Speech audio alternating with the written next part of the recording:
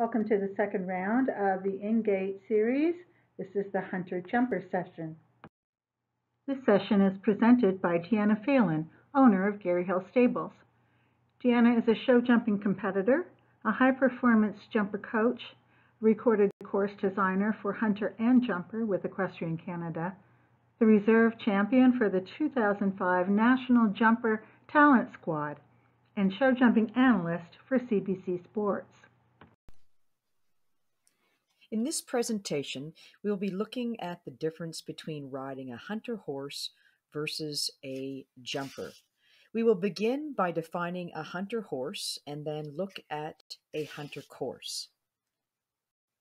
The origin of the show ring hunter can be found in the sport of fox hunting, where horses and riders galloped over miles of countryside, jumping natural obstacles like hedges and stone walls. Now, under the conduct of a hunter class, all hunters are judged on their jumping style and way of going. A performance starts when a horse enters the ring and ends when he leaves. In all hunter classes except miscellaneous, horses and ponies must be jogged for soundness, juniors must wear safety approved headgear while jogging for soundness, all horses and ponies showing in junior classes must be jogged by a junior. Circling a horse once upon entering the ring and once after competing the course is permissible, but any other circling except to retake a fence in the case of a runout or refusal shall be counted as a disobedience. After you've done your two or three over fence classes, it's that the division is generally finished with an under saddle class, where all the horses come into the ring and are shown at a walk, trot, and canter, both ways of the ring, and at least eight horses at the judge's discretion may be required to gallop one way in the ring. Expert horsemen judge hunters subjectively on the basis of their style and movement, conformation, and overall picture. Judges observe how the horse moves and jumps. They watch their attitude, the shape of their jump, striding, everything. It's all about the horse. Now let's look at some of these hunter horses. Now let's look at some of these hunter horses. This horse, hunter horse depicts great form. Look at the front knees, how even they are, and how they're uh, jacked up under the horse's throat latch almost. The ears are pricked forward, and he's using his head and neck out and down, using and encouraging the bascule shape which we want the hunter horse to have in the air. This pony hunter jumping a vertical, what a lovely expression. Knees up to his throat latch again, beautiful head and neck, and a great expression. Once we do the two or three over fences classes, it is then followed up with the hunter under saddle. This horse is demonstrating lovely movement at the trot. This is what the judge will be looking for. Now, the only thing this horse would not have on in an under saddle class, you would have to remove the standing martingale in order to go in the under saddle. But the length of rein and the length of neck and the stride is covering ground. It's a beautiful expression and movement uh, of how a hunter under saddle should be. Followed up by our pony hunter under saddle this beautiful gray pony. The expression, look at the uh, the front leg just striding out in front. This is what's being judged in the hunter under saddle class. Now, once we do the two over fences and the under saddle, the horses have to come back for the over fences to be jogged for soundness. So the rider will be jogging the horse in in full attire, and the horse needs to be jogged in in bridle. The saddle must be removed, and the judge will be looking at the horse's soundness and the horse's trot basically in the order that he would like to place them in as well as our ponies. Remember, our ponies and juniors must be jogged back in hand with a junior rider. And again, everyone must be wearing a safety approved helmet for the jogging as well. Now, there are some um, hunter classes that are actual conformation model hunters, and this is where the horses must come back in for jogging for soundness, but the actual judge will come out of their booth and actually inspect each horse for conformation before giving them their um, final placings. Now we'll move on to the hunter courses. Jumps shall stimulate obstacles found in the hunting field, such as post and rail, stone walls, chicken coops, hedges. All jumps shall have wings or be of sufficient width to stimulate obstacles in the hunting field. A horse shall be able to knock down the top element of hunter fences. Solid coops or walls without blocks or poles are not allowed. Horses shall be shown over a minimum of eight fences in recognized classes and no fewer than seven fences in miscellaneous classes. The course shall and must have at least one change of direction, and at least 75% of the course must be at the required height. Courses must be posted 30 minutes prior to the start of the class. Course designers must provide distances of lines and combinations. And steel pins and cups are not acceptable. Now we must use the plastic cups and pins in the hunter division or the keyhole system breakaway is also allowed. Now, walking a course in a normal hunter round is not allowed. But if you are entering a specific special hunter class like a classic, the Hunter Classic, or a hunter derby, then the riders are allowed to walk the course before the class starts. Now let's take a look at an actual hunter round or a hunter course. I'll ask you to look to see where the in gate is, top left hand corner. We're going to start this course. All hunter rounds normally start towards home or towards the in gate. It starts with a vertical. We're going to start on the left lead and then we're going to go across the diagonal to 2 3. We're going to go down the outside 4 5, across the diagonal to the single jump, and then we're going to finish on the way home on jump 7 to 8. Now, all the jumps would be vertical to oxer in the lines. That's also a requirement. This would be hunter number one course. And can you find the hunter number two course, which would technically start on the right lead quarter line, and then we would go across the diagonal to the single jump, we would go, then go down the outside and we would come across the diagonal line and we would then finish on the line in front of the judge's booth. So normally your course one and two are posted at the same time. And there is basically, they say only about eight ways to do a hunter course. So here are two. And they're both starting towards home. Normally the left lead is first, and your round two would start on the right lead. Now, let's look at another hunter course and here we um, have it uh, with the actual dimensions um, footage of what the course designer is using. So locate your in gate, which now is in the bottom right hand corner. And we're going to start on the left lead. The vertical on the quarter line is jump number one. And then we're going to go across the diagonal to the single oxer at number two. We're going to come down the outside line towards the in gate out gate. That's jump three, four, vertical oxer. We're then going to go across the diagonal, jump five, six, vertical oxer, and we finish going towards home on, on jump seven and eight. Now, this course designer has also provide the measurements. If you're a small pony, a medium pony, a large pony, if you're jumping the three foot hunter course or the three foot six. So take a look at jump three to four. And for a three foot course, which would be horse distances, the, the footage is 74 74 feet 6 inches. So that would be the measurements you would know what kind of striding is used to use to take that line. And that's what the judge is looking for. That if that is a five stride line, you must do it in five, not four, not six, six. So they've required the measurements to be posted, and you, the rider, must do the course, or you will be penalized if you don't get the right striding in the lines.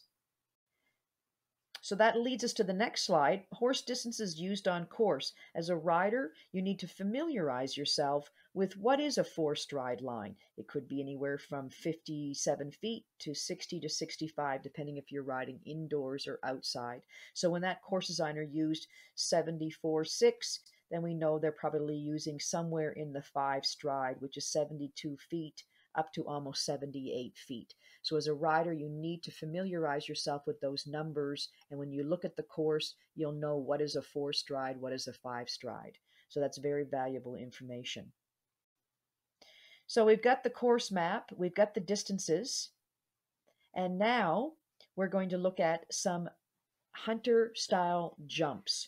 What we're seeing here is a hunter vertical, very well constructed, looks solid, all filled in, not airy at all. Has wide standards that holds the jump up. We've got a pole on top of a gate. In front of the gate, we have a box. In front of the box, we have a flower box. It's almost built a little bit like a triple bar. There's lots of filler, something that's really going to encourage the horse to look at what he's jumping and use that bascule shape in the air. Remember those first couple pictures we showed you? The horse was, its head was down, its, it was arching its neck and that's going to give the, the horse good jumping form and style, something that the judge can also be judging. You can see on this standard that they're not using plastic cups and pins, they're actually using the keyhole system. That's for safety. Everything will come down or break if a horse ever got hung up over the jump. So that is a great picture of a hunter style jump. Followed by a hunter style oxer. We have a pole in front and a pole in back, which makes it an oxer. Under the pole is a gate. And again, we have the box, we have a flower box, and we also have some green cedar brush. So the jump really wants to be filled in. Give the horse something substantial to be jumping. Beautiful style jumps. The actual divisions for hunters, as you can see here, are anything from a small pony of two foot three up to a regular open hunter of four foot. And again, remember these divisions normally have two to three over fences and one under saddle. Now, many provinces have also designed their own miscellaneous hunter classes, and we have that here in New Brunswick. We have a intro hunter, which is like Crossrail. We have beginner hunter, something that's two foot three. So we provinces will design their own miscellaneous hunter divisions to fit the need of the beginner horse and rider. They follow the same rules as far as judging. The main difference is that they are not required to jog for soundness. Now, following that, we're going to look at a hunter style judges card. So this is what the judge is using. So the column on the left-hand side is the actual horse's number. When it enters the ring, they have uh, horse number 86. The top left, sorry, the top of the uh, card, we have fences 1 to 8. And it's closest to her or the outside line. She's also put the striding. You can see the number two to three is a six stride, number four to five is a five stride. Keep going over towards the right, and each hunter is judged out of a hundred uh, percent. This horse has got a, a, score of 69. And then their comments, it's probably B for a bay horse, and it looks like a pelham. It probably has a pelham in it. So if you, and then the top right hand corner is placings first uh, down the line. That's how she'll ask them to jog in to see if that order will stand for the placings. The judge's card, um, that, that, that judge should be able to tell you, mind you, you're not allowed to go over and speak to a judge. You must go to the steward first. And if you have a question about your round, the steward will ask the judge if they will um, allow you to come over and speak with them. If they do, the judge will be able to say, okay, what was your number? Okay. And they'll be able to go to their judge's card and actually talk you through what they saw over each jump. This is the actual symbols. So a judge will basically have their own symbols to use on their own judge's card. Uh, in case a horse is hanging a leg, or it swaps leads, or it uh, chips in, uh, drifts to the right. These are all the symbols that a good judge will get their own paperwork and their own um, system so that they can be able to recap at any time what that round was like and how it should be scored. So, we would like now to introduce you to a video of showing a children's hunter. Number 36.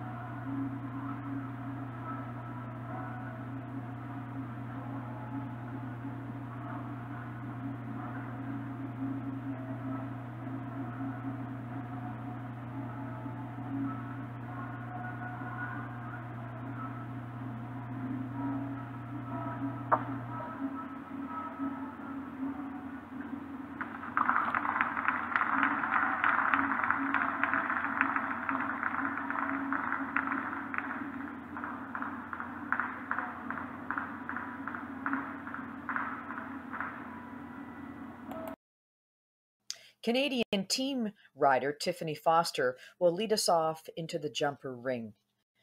Now, faults for jumpers.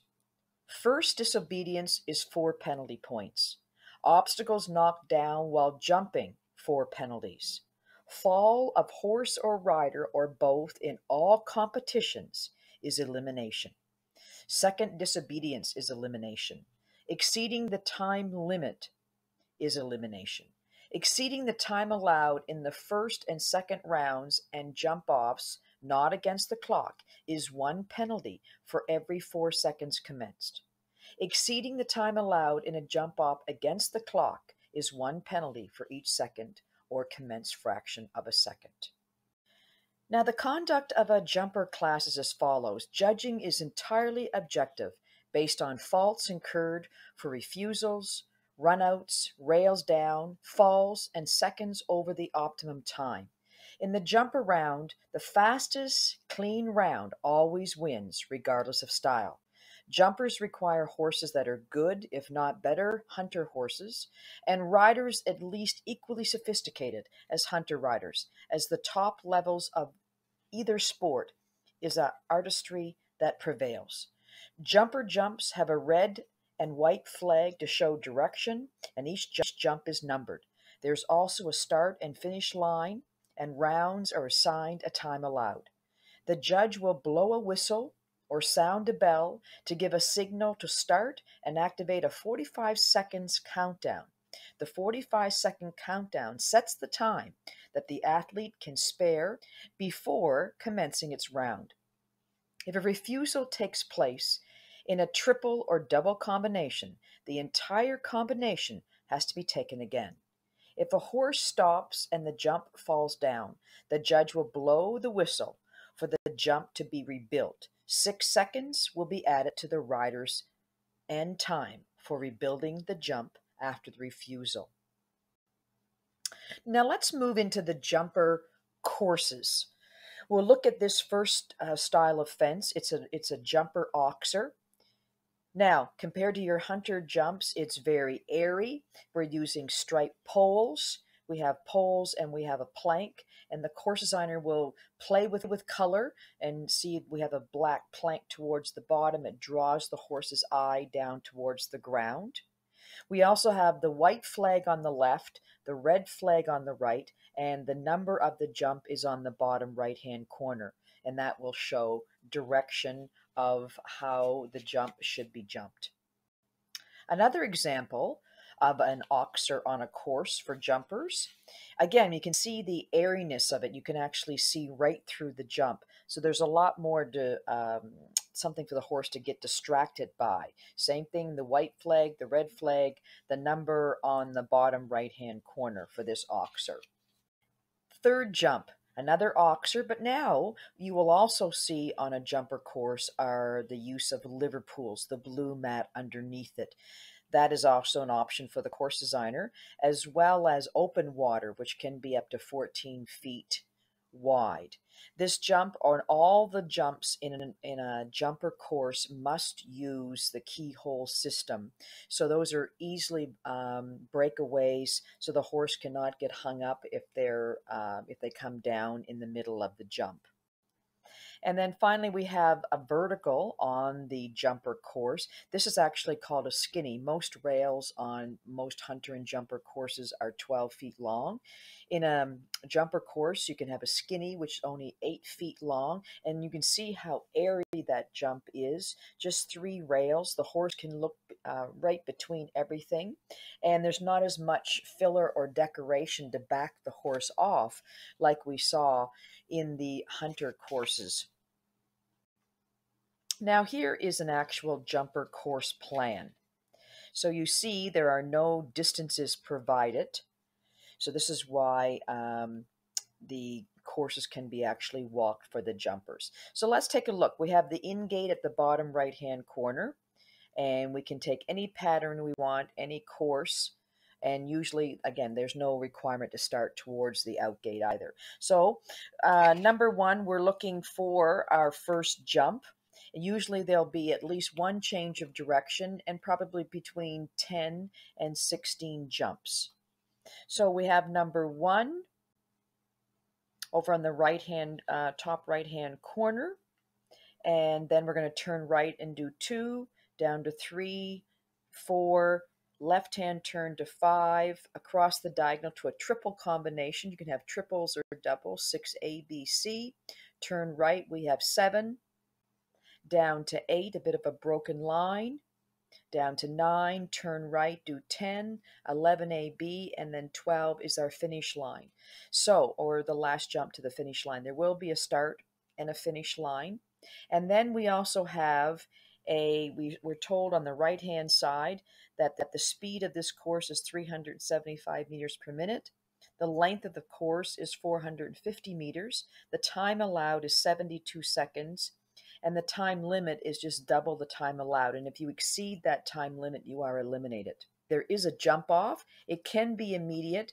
This is not immediate because if we look at the jump off, it's just 6A and B, and we knew there was 6A, B, and C. So let's follow the jump off. It's a new start and finish, and we have a new jump, which is jump number 14. So that is our first jump in the jump off. So we're going to go 14 towards the in gate, turn left and do 5, 6AB, 7, 8, 1, 2, 4. So that is your jumper style course with a lot of information given to you on the diagram. And if you see, as I've mentioned in, in, the next film, you are allowed to walk the course. This is where you will decide when the judge is give, or sorry, the course designer has given you some options. Depending on the horse you will ride, um, you may decide to do that line in six, or you might decide to do it in five if it's a bending line. So that's why you're walking the course to decide the best line to take for the for the track into the jump. And also, watching from the out gate when you're next in with your coach is a great way to see if the course is actually riding the way that you walked it. So you can also gain lots of information um, from the out gate. And especially if the rider in the ring before you is Beezie Madden. Here's a great picture of Be- Beezie Madden at Spruce Meadows uh, riding a lovely chestnut stallion, um, Darry Lou. And we'll also show you an example of a jumper judge's card. So uh, down the left-hand side, we've got the uh, ring number of the horse. In this point, number 27 was the first horse in. You can see there was 1 to 10 fences in black and the fences underneath it was the jump off. So there's just check marks uh, for clear over jump one, two, three, four. We had four faults at number five, and then we were clear on six, seven, eight, nine, ten. Um, she did not go into the jump off. The time that they complete the course, and there was a and there was an error or fault of four. And if we go down to ring number 79, you can see they were clear and they went into the jump off and did the jump off in 38.19 and they had four faults. And at the top right, we can see that the class was won by number 63. And if we go down and look at the judge's card, they had the clean round and the fastest time. So at this time, we'd like to show you a video of a jumper round, and it'll be Beezie Madden uh, from Spruce Meadows. Enjoy. Beezie Madden of the United States with Darry Lou, the 11-year-old stallion. She won it in 2005. Oh, dear. boy. A good wake-up rattle at jump number one. That might wake the diesel up a little. By the time we get to the last line, the diesel will be firing, maybe. Blue blood pump.